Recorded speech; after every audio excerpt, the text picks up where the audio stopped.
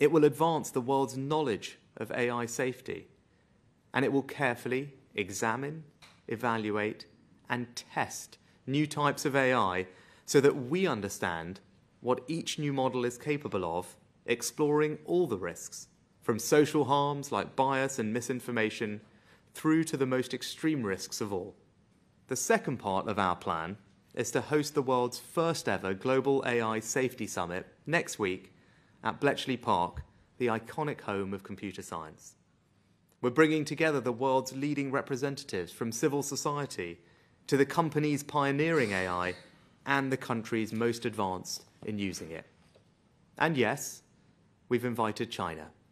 Now, I know there are some who will say that they should have been excluded, but there can be no serious strategy for AI without at least trying to engage all of the world's leading AI powers.